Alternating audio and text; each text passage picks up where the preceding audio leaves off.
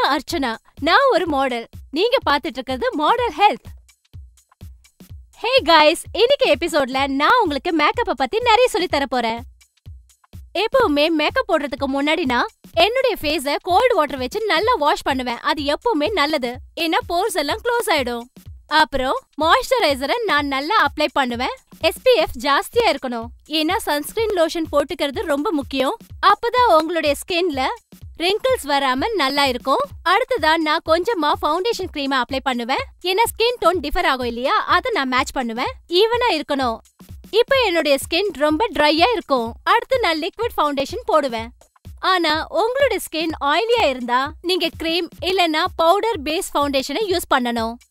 என்னுடைய ஃபேஸ்க்கு நான் எப்பவுமே பிரான்சர் யூஸ் பண்ணுவேன். அது ஒரு டார்க்கர் டோன் என்னோட ஸ்கின் டோனை விட டார்க்கா இருக்கும். இதனால என்னோட சீக் போன்ஸ் எல்லாம் வெளியில தெரியும். என்னோட ஜா லைன்ஸும் வெளியே தெரியும். ஃபேஸோட ஃபீச்சர்ஸ் எல்லாம் வெளியே தெரியணும் இல்லையா? கண்கள் தனியா தெரிய. என்னோட ஃபவுண்டேஷன் கலருக்கு ஏத்த கலரை அதாவது ஒரு கன்சீலரை என் கண்ணுக்கு கீழே நல்லா அப்ளை பண்ணுவேன்.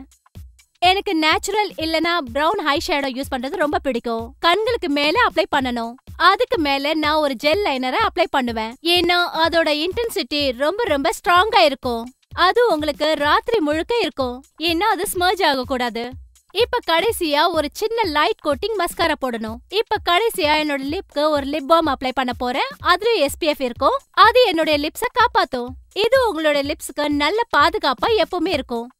எனக்கு லிப் கிளாஸ் போடுறது ரொம்ப ரொம்ப பிடிக்கும்.